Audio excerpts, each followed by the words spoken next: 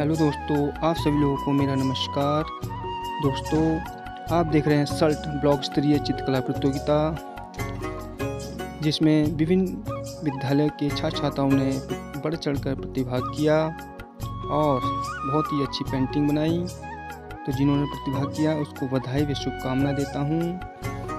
और दोस्तों, ये प्रतियोगिता छब्बीस जनवरी पूर्व पक्ष में रखी गई थी और दो स्तरों में थी जूनियर और सीनियर तो दोस्तों, आपको बताना है कि जूनियर में किस बच्चे ने सबसे अच्छी पेंटिंग बनाई है?